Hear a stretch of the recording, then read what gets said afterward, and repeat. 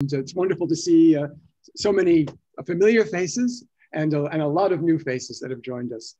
Uh, it's a real honor to introduce Dr. Philip Kotler. Uh, he's a man justly revered as the father of modern marketing. Uh, during his long and distinguished career at Northwestern University, uh, Phil found time to write, at last count, over 150 articles and 80 books. Um, these books included, of course, the celebrated Marketing Management, which is the most widely used marketing textbook around the world. It's one that I used when I was studying marketing, uh, and I'm sure many of you have, have are familiar with that book. Uh, Dr. Kotler did his master's degree at the University of, of, Chicago and earned his PhD right here in Cambridge at MIT. So uh, welcome home to a certain extent. Uh, he received uh, 22 or maybe 23, I, I don't, I lost count, honorary degrees as well from universities all over the world. Um, if you want to learn more about Dr. Kotler, I can uh, recommend his autobiography, which is called My Adventures in Marketing, which he wrote all of five years ago. But in those intervening five years, he's written a lot. And what he's going to be speaking about today are seven books um, on different topics that, uh, that an enormous amount uh, for anyone, but just a remarkable amount of output for someone who is about to celebrate quite an important birthday at the end of this month. So uh, I won't say which one, I'll let him just say that if he wants. Um, so Dr. Kotler will be with us for 45 minutes and we'll try to answer at the end of his presentation as many of his questions as he can.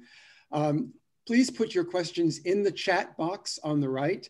Uh, and uh, we, we will stay, Dan and I will stay online after Phil has left in case there are some uh, other questions that we can answer for you. So without any further ado, please let me uh, welcome Dr. Philip Kotler to the Leaders Excellence uh, program for today. Phil, go ahead. Bill, thank you so much for the introduction. And Dan, thank you so much for suggesting that I come on your wonderful program. Um, when Dan asked me uh, to to uh, be invited, I said, uh, look, the best thing I could do is cover seven topics in marketing and business. And it so happens that since 2015, I've written seven books. So maybe those books will cover such things as innovation, very important to companies, branding, new developments in marketing, human ori oriented marketing. We call it H2H marketing, human to human marketing social media marketing, the common good, and healthcare marketing. Those were important topics to business and, and marketing. And um, I will try to take about three minutes to uh, share with you uh, the content of each book and wh what I'm trying to achieve with the book. So we want to go to this. Okay. Let me start with the first book, that we will talk about on the important subject of innovation. Uh, you see a picture uh, there of the CEO of Fujifilm, uh, Shigetaka uh, Komori. He's a brilliant, brilliant leader. And just consider what you would do running a company where the demand dropped to zero.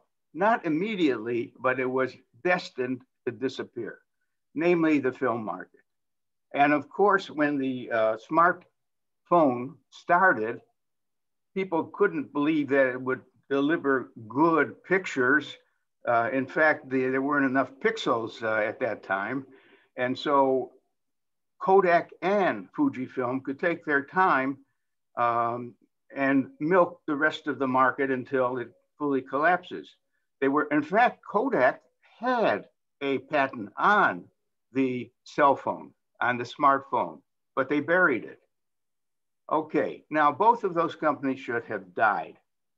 Well, Kodak did, although there's some parts of Kodak around now and here, here and there. But this company not only uh, did not, uh, Fujifilm not die, it's probably more prosperous than before. What happened? And I uh, uh, Komori uh, asked me to work with him on the history of this, and that's the purpose of the book. And what happened is he told his people that the photo market was going to disappear, but that his company has so many patents that several of them can be turned into wonderful new businesses, but they never had time to do that. The illustration he used is he said, you know, just think when we were making color film, that itself is a 14 step process to make color film. And each step was a solution to a problem of moving to the next color or something. And each of those could lead to a lot of uh, breakthroughs and so on. As a result, all of his thousands of employees stayed with the company. They trusted him. He was inspiring to them.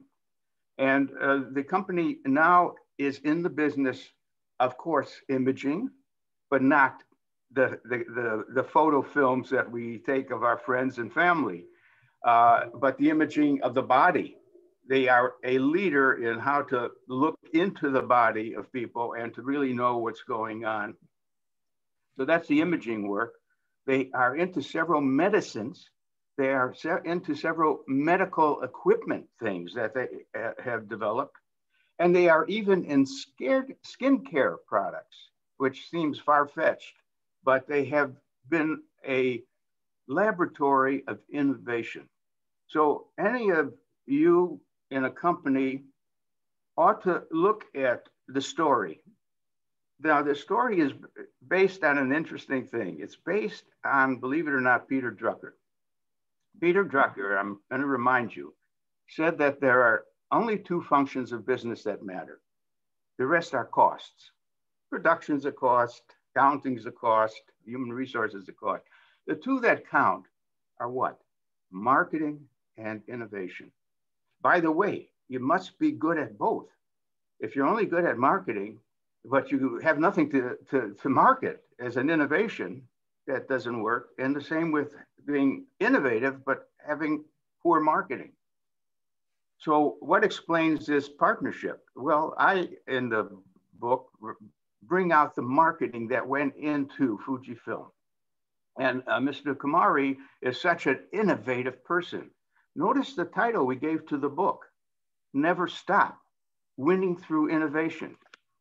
So should you, what would you expect to find in the book? Uh, you, will find uh, the, the basic thesis is this, no company will survive in a world of change without also having the capacity to innovate continuously. And it could be at the lowest level, which means to make the product a little better. Uh, you know, the Kaizen idea of the Japanese. Every day I'll think of a way to make what I'm doing in a better way. Or it could be a, a project or two. Uh, it could be at the greatest level going after the X Prize uh, you do know that there's an X prize of $100 million to be awarded to a fantastic idea like stopping cancer and so on and so forth. So, but we're expecting most companies to be good at Kaizen, uh, always thinking of ways to make better what they're making and to do um, uh, new projects and, and to run them well.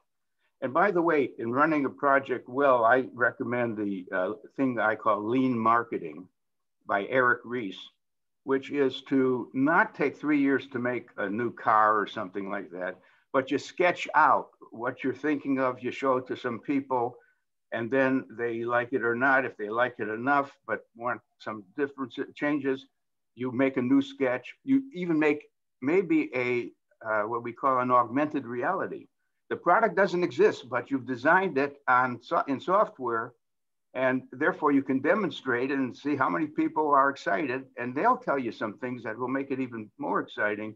And before you know it, you're you're uh, doing what we call minimal product design and minimal marketing, but you're learning in the process and coming out more quickly with new products. Okay, let me move on. And the thing is that I, I have to move this further down to the next book. Okay, let's see what happens here. Branding. Okay. Everyone knows that branding has become one of the most uh, important uh, achievements in, in, in, a company to, to build a brand. In fact, when we ask what what could you do in a in a com highly competitive world to to be a winner and to stay a winner, one is to have develop a strong brand that's a must buy by many people in that category. That's the must buy brand. Also, you better have the best channels. You, you, had, you should have channel ownership, really. And then with innovation and a few other things, you, uh, you're on your way. So branding. Now, there's about 200 books on branding, and all of them are pr pretty good full of stories of, of, of Coca-Cola, uh, Starbucks, all the great achievements in branding. The new uh, thing about this book is to ask whether a brand should simply describe that we have a product and it's priced in the following way and it's available in all stores. Yes, you have to tell the fundamentals of how to get the brand and what it costs. But the real question is, should it reveal anything about your company? Uh, after all, um, today consumers know so much. They, they can find out anything they want about the, any car they want to buy. It's all there. Uh, they, they almost will walk into a, a, a, sales room and, and say to the salesman, I want your car, this one on the floor, I, I'll take, and here's the price I will pay for it. So why, why would anyone trust buying that brand? Well, the brand must have a set of values that produce trust, reliability.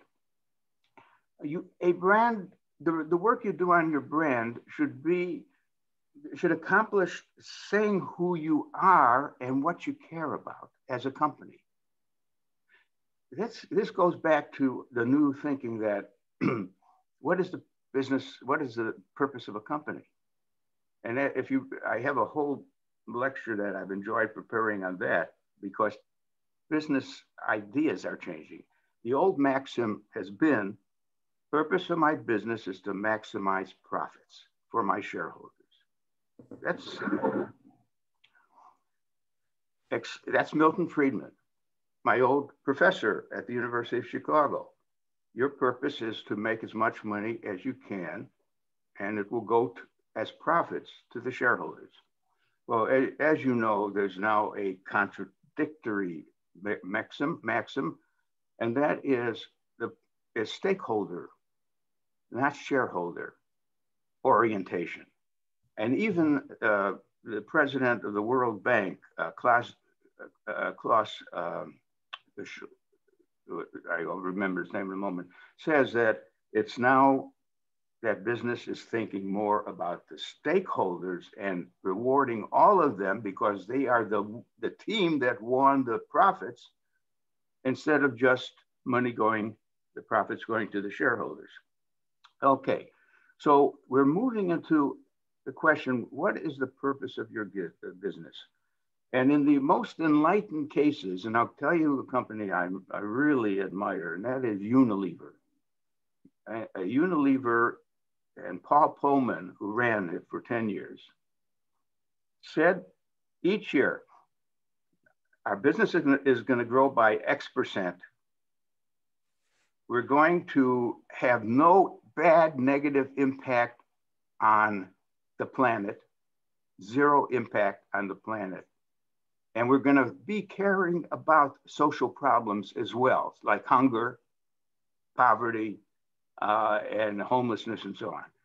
So, suddenly, purpose of a company is to make profits, to do it with sustainability, and to do it with some attention to trying to help and reduce social problems. So, look at Unilever for more on that. Well, brand activism is almost you've, you've succeeded if, if your brand work itself says what kind of company you are and what you care about. Because then if that's what I care about as a customer, I will, I will follow you. Okay, let me move on. The third book is over here, and it's Marketing 5.0. Now you may say, what's 1.0? What's 2.0? What's 3.0? All right, here's the history. It's brief. There was no 1.0 book. There was no 2.0 book. But in 2015, uh, my co-authors and I wrote a book called Marketing 3.0. And we, we, we meant 3.0 because um, we wanted to say that when marketing started, it practiced a kind of 1.0, which is just describe the product and its price and where to get it. That's called functional, very functional description. The Russians do that all the time. Before they started to read my books, they would just have a, a straight description of a bunch, a list of products that are available, and, and you were supposed to buy on that basis. Right. So then we realized it's better to do marketing 2.0, whatever it is, it's emotional. Namely, you are realizing that 70% of the decisions that people make are based on their emotions. And then they rationalize it with 30%. You understand? And that's not only buyers, that's sellers too. That's even the, the, the guy running an auto company is, is wants a mix of safety and profit. And there's a lot of emotion. And should I introduce this new car? Should I shape it this way? So there's emotion all over buying and selling. That's marketing 2.0. We did do marketing 3.0 and make a case that marketing should be about creating well-being for your customers. Good health, good happiness, and can you your marketing be about making this a better world and through your products? You, you'll make sure you, you do good products and so on. Okay. Now, that was that. Then about four years, about in 2018, we wrote Marketing 4.0. Why? Because marketing went was going through a revolution that is almost obsoleting the old marketing or traditional marketing. The old marketing was centered on 30 second commercials and print advertising.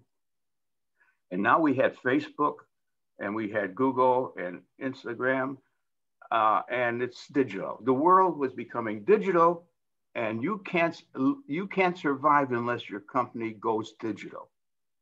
And in fact, you better hurry and get as digital as you can, as fast as you can. And I know all your leaders in the company are in their 60s and they never grew up with digital.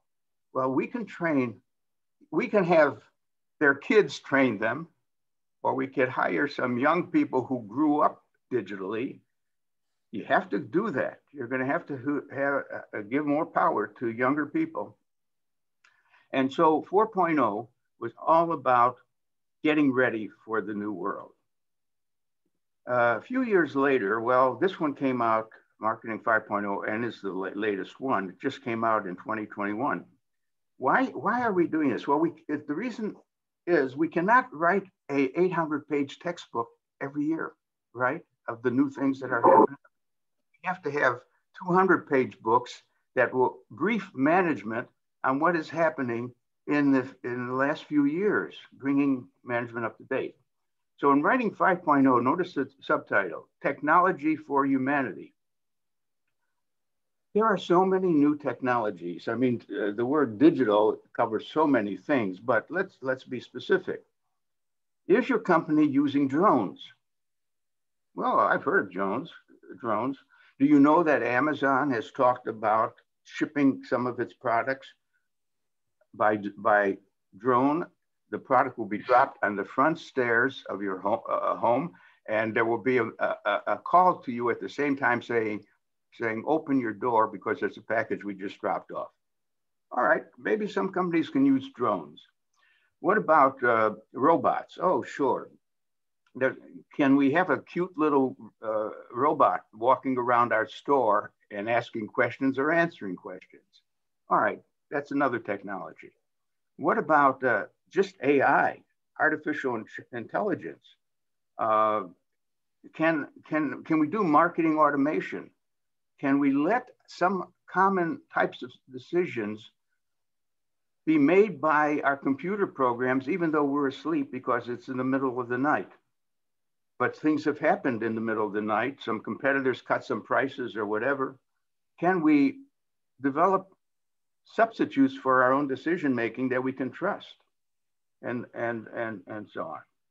What about chatbots? Chatbots are, let's say you have, you have a new product that, and people would normally ask questions about it. And we know what questions they're likely to ask. So it's like talking to uh, uh, Siri or Alexa. That's voice recognition. By the way, facial recognition is next. Voice recognition is that um, the consumer can say, tell me how much is, is are you going to charge, charge for that product? And the voice says, well, this is going for, if you have certain conditions, it will be less money. Uh, who made the product? Where was it made? What country was it made in? So a chatbot is, is loaded with the answers to any questions that consumers might have in a supermarket where this new product is being demonstrated. Well, I could go on and talk about 3D printing. Um, I have a list of about 20 newer technologies that are covered in Marketing 5.0 uh, for you to um, pay attention to, and you're not gonna uh, get all of them into your business. No, which ones could be critical for your business? Also, um, this is uh, this is basically a, a way of, of um, paying attention to to uh, the technological world and incorporating what you can uh, do best. Okay, let me, let me move on because I know you're going to have some questions and I'd like to uh, be able to address them. Okay, this book I wrote with my uh, German friends Waldemar Pfoertsch and uh, another fine co-author, H2H Marketing, uh, the genesis of human to human marketing. You know, we have to always realize that it's not a customer and a supplier. Yes, but uh, by the way, uh, the essence is really shown in, in, the, in the old sales work that people did. You know, a good salesman knew his or her customer so well. Uh, they, they probably went out for lunch. Uh, they would send, uh, the salesman would send interesting content without any sales messages, just interesting stories to their, they knew their customers so well. And they say, hey, hey, this, this was a wonderful article I read about that basketball player, and I know you love basketball. This human touch is what we're talking about in H2H marketing. And we, in that book, we bring in three of the newest developments in marketing. One has to do with the role of design maybe all of marketing is really design. At least if you talk to people who are tops in design, they will do, it. they will say that oh, marketing is just a, a design uh, activity and, and, and challenge. Uh, well, we say a lot about design. We also say a lot about the movement called um, service, that in services marketing, that every product is essentially a service, a delivery system for a service. You, we knew that years ago uh, from when Ted Levitt at Harvard said, you don't want to buy a drill, you want to have a hole. The hole is what you're, you're trying to make, so it takes a drill or something to make the hole. So products are there to create a set of services. And then there are services that are services, like the health service or a barber and so on and so forth. So we bring in a lot of the new thinking about uh, uh, products being essentially a service logic and so on. All right, let me move on to the next uh, one. And this is my fifth uh, book I'm talking about, social media marketing.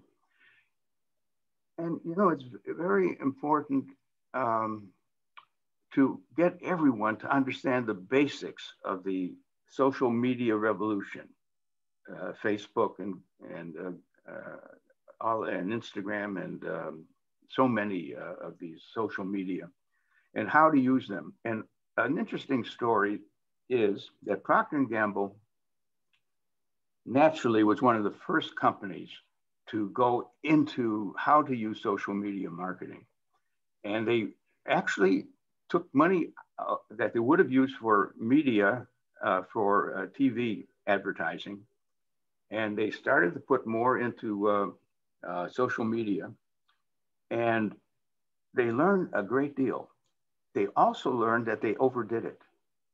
In other words, in their anxiousness to to do a lot of uh, Facebook stuff and, and so on, and gather so much information about each of us, what we eat, what media we watch, how, where do we bank? You know, that's the whole thing called the, uh, the, uh, the boom in, in collecting information about individuals with, with its negative implications of privacy. We know about that. But in any case, Procter & Gamble uh, tried every one of these. And you know what? Subsequently, they cut down. They had expanded the budget for social media. But having learned what works and doesn't work, they're back to the right size. In other words, they oversized in the anxiety to get to use these things as quickly as possible. They found out what works and what doesn't work. And we describe the book, we have lots of case studies here of companies that have gone into uh, social media and what worked and didn't work. So uh, there's, okay, now we'll go down to the next one. The common good. What is the purpose of our work? Well, our work is normally to do well for ourselves, our family, our company, our friends, our community. Uh, when there are certain decisions that are made that have a big impact on lots and lots of people, and, and that's what legislation is about. All these bills to help certain people, to help certain industries. So I wanted to take a concept that was developed in 1780 by uh, Jeremy Bentham, a great thinker and legislator and philosopher in England. How do we know if something is good for us, for all of us, if it's serving the common good? And his answer was very simple and straightforward, but very subtle, of course. Namely, how many people are going to be happy with that legislation?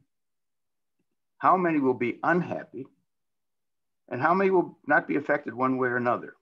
And his answer was simply count the number of people who are happy with it, the number of people who are unhappy, and if the number of happy, happy, if the amount of happiness is, is increased, in other words, there's more happiness created than unhappiness, it's for the common good. Now, um, let's take an example. Should Elizabeth Warren's wealth tax be passed? Is it for the common good? Well, I intuitively believe it would be for the common good. But the, the logic would be how many people would be happier, made happier if, if there was more of a wealth tax that can be distributed through distributed to health causes, better education. How many people would be happy in realizing that the, the money from the tax, the wealth tax, would make a lot of happiness and how many people would be unhappy? Well, very few people would be unhappy because it would be the very rich people who have the money that is being highly taxed. So Bellamy, uh, uh, uh, Bellamy, he would say, definitely it's for the common good to pass a wealth tax. He would rationalize that having labor unions would be better for the common good because there'd be a voice against the one voice only of business without any checks on from labor's point of view on whether how it's affecting them. So read the common good if there's a lot of issues in your mind that uh, and how to address them. And let me go one more. And that is my uh, book just recently written. It's actually the second edition. The health industry is our one of our major ones, and we are always sad to learn that our system is much more expensive and not better than France's system. We can name a, the Scandinavian, the Nordic countries have systems that somehow we're, we're spending our, our pills, our pharmaceutical uh, buys are too expensive. Our surgeries, our sur- you know, we're sooner or later, all of us will go abroad for our surgery if we get over COVID. Um, that's, that's called medical tourism now. Uh, to get uh, our hips or, or legs uh, fixed or whatever. So, what can we do about that? Well, this book is the textbook being used in a lot of business schools and in public health uh, because it covers not only how hospitals work and private medical practices work, but how the pharmaceutical industry works, how the medical equipment industry works. And the whole thing is how to build a customer driven healthcare uh, system that is one working better for us, better common, delivering more for the common good. And uh, Robert Stevens, my co author, is a consultant to so many healthcare organizations for their needs.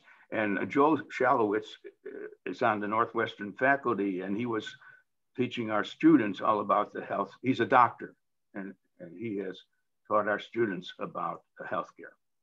So I'm ready to uh, have questions about any of the seven books that I mentioned, or any other things in business or marketing that might be happening. So, Bill, I turn back to you. Thanks, Phil. Uh, we've certainly had a lot of comments and a lot of questions uh, while you were while you were speaking. Um, a number of them were treated as you spoke. I think the the biggest topic that uh, generated questions was the whole issue of uh, artificial intelligence. And um, uh, Chanzal asked if uh, will artificial intelligence take over some marketing decisions? Um, does artificial intelligence support marketing or is it just going to uh, make some of our work in marketing obsolete? Would you care to comment on that? Uh, yes. Um, I'm trying to uh, just second on that. That's a very good question, and I am just trying to check on one thing. Uh, let's see. Um, do you know that today many decisions have been turned over to software? For example, should we admit this student to the Kellogg um, uh, School of Management?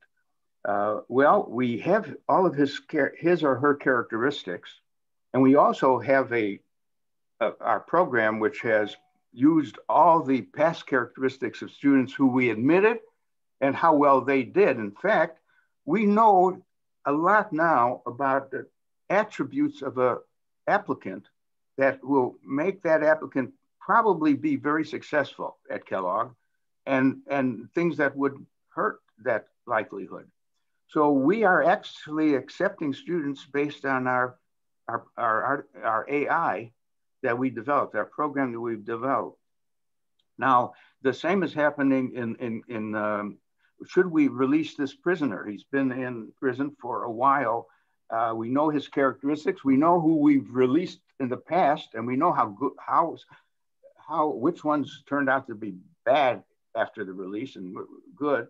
So, and, and the same with loans that banks make. So they're all full of programs now on, um, and every program gets better over time, technically. I mean, any of your AI uh, software uh, for that problem may be faulty and have biases, hidden biases.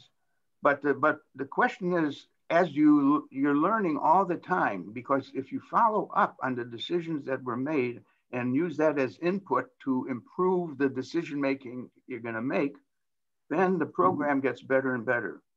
So my my answer is now, there's some things that can't be turned over to computers that uh, will call for, and in fact, I think that uh, a smart, a, a, smart, a smart college like Kellogg would let, would say, what? So the program rejected accepting that student, but you know, that student has certain traits that we have no measure of. Uh, we know he has that positive trait, but we never did anything with that trait. We've got to override the program. So look, the combination, we're trying to say that machines are not going to replace us. They are partners to us in the decision making. We've got to keep the, the human sensi sensitivity and sensibility as part and over, override some of our AI pro, uh, programs because they intrinsically are unable to handle certain things that we can't measure that carefully. Yeah, there were several questions on how AI adds value to the marketing, uh, to, to, marketing decisions, and I think you've you've you've said that that it's it's a partner and it adds value by being a, a good tool that we can use. The other issues that kept coming up quite frequently in the questions were uh, questions about brand activism. And if you're an individual consultant, uh, should you be trying to use brand activism uh, to, to uh, generate more businesses? How do, how do you market with brand activism? Well, I, I was going to put together some at some point not only the the PowerPoint slides for a, a talk on brand activism, but I would have included the several stories of brand activism that that illustrates how to use it. The basic idea is do you want to develop a narrative about your company? I mean, is there a narrative that, uh, uh, now, a lot of, I might say of some companies, listen, you, you have a narrative, but I don't need to hear it. I mean, I'm, I'm out to buy something and you have something I might want to buy. But, but yet we get interested in the narratives. Take Coca-Cola. Oh, do we know things about the history and that Coca Coke Coke was uh, partly with some bad stuff in it and all that. There's a whole narrative. Tell your story, company. Tell your story. People are interested in you making yourself human. Uh, I want to know if I can trust you. What's your story as a company? Henry Ford, you know, we know the Henry Ford story. Uh, but we also know the story of uh, them trying to create a car. What was that called? That was named after their one of the sons. Do you remember? That's a story too, where when you saw the car that they created at Ford, it's like one team worked on the front of the car and designing it, the other team worked on the back of the company uh, car, and they it just didn't work out to be a, a, a, a something I'd be proud to drive. So, what are what's your story as a company? And if you have a good story, um, get it out in your brand work because that's more lasting than than the particular thing you're saying uh, today about the, the, the product itself. Can you say more about you as well as about your product? You know who does a good job of that? Starbucks. Starbucks tells us we're your third home. Your first home is where you live. The second is your office. No, it's not. We, we're, we're home nowadays too. And the third is Starbucks. And sit down, enjoy what we have, invite your friends. We're there for you.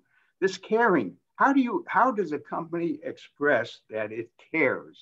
So brand activism is work you do in sharing the story of your aspirations as a company? What do you care about? What, what are your good deeds? By the way, there's an increasing number of companies now who, at the end of the year in their annual report, are reporting their good deeds. I just saw a, you know, we use EG, is it ESG, governance, E, environment, S, and governance uh, is one code, way to code a list of things. It's like, what, Henry Ford, what were your contributions this year in, in the work you do with cars and, and so on? What, what, what did you do about social problems? Anything? Uh, and, and certainly we want to hope you're doing good environmental work. You're, you're, you're choosing, you're, you're, you're, you know, too many companies create uh, negative uh, impacts that they don't have to be responsible for. Uh, they, they, you know, the coal mine, the coal mine digs out uh, the coal, but leaves an, a mess behind. Uh, if they were charged for, for covering the costs that they put onto society, coal would be more expensive and we would sell less coal. So those are called ne negative externalities, and we would like all companies to be responsible for the negative externalities that come about in their production and distribution. So, so any, getting toward the end of the of, of, the 45 minutes that you promised us, but um, there, there, there are there have been a couple of questions on ethics and spirituality, and as your career is getting it has been over so many years how have you how have you seen that change over time? And what lessons have you uh, have you learned from that? Um, well I, I i went into economics. You know i'm an economist marketing is a branch of economics and by the way a branch that the economists don't recognize.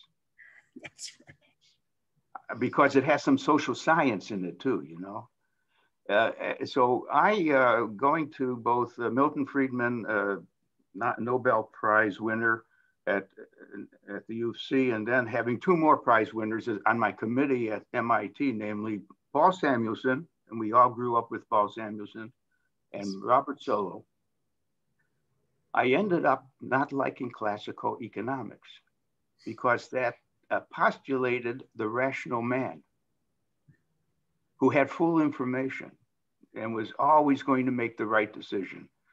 Now, when I joined Northwestern's faculty, uh, Don Jacobs, the dean, said to me, Phil, you can teach all the economics you've learned at these uh, schools, or you could teach marketing. I think you, you'd be better off teaching marketing. So I said, Don, you're right. Economics is a pretty settled field with a scientific aura. Marketing is considered very practical, uh, but not with much science. You know, they, they would list the traits of a salesman, but there was no research to show you what traits really make a good salesman. So if you could write a, about marketing in a way that is uh, based on economic theory, research uh, findings, and so on. And then in 1967, I wrote my marketing management book which, by the way, for those of you who uh, want to be current, uh, the um, 16th edition is coming out this year, uh, and it will be fantastic. I uh, am working with two others on it, and Alex Chernev has joined the work on it from Northwestern. So, but the main thing is, notice what happened. What happened is the um, economists themselves created something new called behavioral economics. And they gave the Nobel Prize uh, in economics to the guy at the University of Chicago based on his work in nudging. Now, what's a nudge? It's basically that we can influence business decisions and consumer decisions by loading the architecture of choice. There's an architecture of choice, and if we could bend and reshape the architecture of choice, we can get more people to uh, sign up for donating blood, or if we put the options in the right way, we can influence the decision making. All right, so behavioral economics surfaced, which is what it should have been. And to me, marketing is the essence of behavioral economics because for 100 years we've we have studied how people make real decisions. So um, that got me into this writing business too, because by looking, there's, I just got a, a notice uh, in my mail that I, I, won the award for the most, uh, most people have read behavioral economics from my writings but it's called behavioral economics, not classical economics. Now I almost forgot your question, Bill. But I no, thought I have been seeing a lot of nodding heads in the uh, in the mosaic here, and uh, it, it's a it's a wonderful uh, a wonderful answer. I think someone brought up that the, the S was sustainability, And I think that's become a, a big issue in the environment, sustainability, and governance. I believe you're right. Yeah. Yes. Yeah. So I'm, I know you promised, uh, we promised you uh, 45 minutes. If you'd like to answer one or two more questions, we'd be delighted. Yeah, if there's another question or two, sure. Certainly, yeah. We've, we've gotten a lot of questions on the human to human marketing. Uh, I think the, the, the whole notion of that is, is a little difficult for some people. Could you say just a couple more words on that? Well, yes. Um, in fact, it would take me to a specific part of that, and that is how do we uh, work with our employees? Uh, are we being human toward our employees? Because I read statistics sometimes that maybe 70% of the people, when asked, are they happy at their work, say no, I'm not very motivated. It's drudgery. Um, you know, so there's always going to be people who are happy about the jobs they have. But take even the law profession. Take how find out how many lawyers are happy being lawyers. It's not very high. Uh, so the question is, um, but in, in the work situation, um, are we paying our people enough? Well, $7.45, our minimum wage, still officially is unlivable income. That's poverty level. And but it's not just income. It's it's not that. It's it's how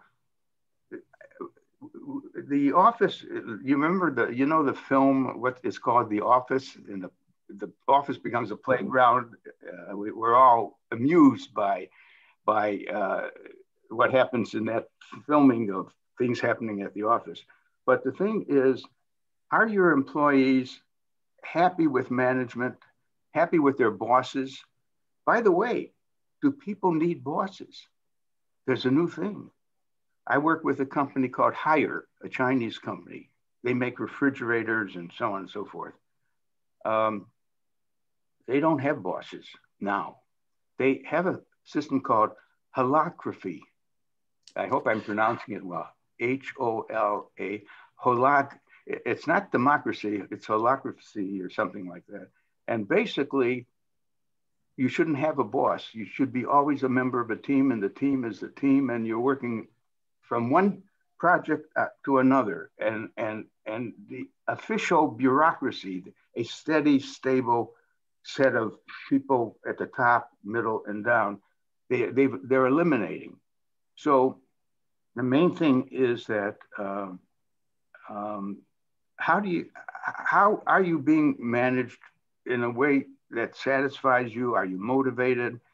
Uh, that touches the H to H idea that it should be human to human. And, and companies, uh, you can find some, some distinguished companies who care a lot about their employees. They, they're the ones who are going to vote for, for childcare. They're going to help people be more comfortable working for them while taking care of their family. What's, what, what's happening now is a lot of people uh, in, in business have to worry about their parents above them and then their children. And then, yet they work five days a week, uh, eight hours a day. And what about the human dimension of the work experience? And how can we improve this? So we're now seeing a lot of legislation coming from the Democratic Party to meet a lot of needs that were neglected or not, not handled. And I'm noticing a thing, and all of you might think about this, whether you're Republicans or Democrats. Business is moving faster than politics, especially a lot of Republicans are off, off tune with what's happening. That and I wrote an article recently, I haven't published it yet, that the Republicans are in danger of losing losing the uh, the the the, the business. That in fact that some businesses which have been very generous to the Republican Party are uh, wondering about supporting that party which is a po- which wants nothing to happen. The Republicans don't want anything to happen with legislation because the purpose is he must fail. Biden must fail at his job. That's no way to run a country. So I don't want to get political, but uh, you can tell that we watch what's happening to business, and more and more businesses are supporting the things that are being proposed now because it would make society better. It will put more money in the hands of buyers. And what is better for a company to see a world with people having a lot of money to buy their product? And that's what we have to aim for. Well, I'll stop Bill here because I also have to be a preacher in the process. Thank you very much, Philip. It was a, it was a wonderful hearing from you. Uh, we had over 300 people uh, listening to us, some students who are asking about uh, how do they approach marketing as a career. I'm sorry we couldn't, couldn't get to that question unless you'd like to say one last word on that. but I think well, I, look, uh, I would, sure, you know, basically, um, I, I, there's always good careers in finance uh, and in uh, human resources and in production uh, and so on. The one thing about marketing, it moves faster and changes more and causes more interesting problems than some of the other fields that are more standardized and routine, routinized. Uh, just like I would never want to teach geometry because it hasn't changed in 200 years. I chose marketing because, uh, God, it's so fascinating, and and and you have to put up with a lot, but uh, the challenge is always going to keep you uh, busy and alive. Well, you've certainly proven that with your career, Philip. Again, thank you so much for your for your time. Um, I'll pass this back to Dan to say a, one quick last word. Uh, and as I mentioned before, we will stay online after Phil departs uh, if, if we can try and uh, answer some of the questions that I've seen coming up. But Dan, go ahead. Thank you. Hi, Dan. Hi, hi, Philip Kotler. So thank you so much for doing the session today for us. It has been great. You know, uh, thank you so much again. And uh, we will just stay live here. So uh, you can uh, just turn off and sure, I'll uh, do that. Continue. I, I, will. I will have to leave anyways, Dan. But let me just thank you so much for your uh, leader program at Harvard Square and so on, this idea of excellence in leadership is a marvelous thing that you've been doing for everyone. So we'll, we'll keep following your work too.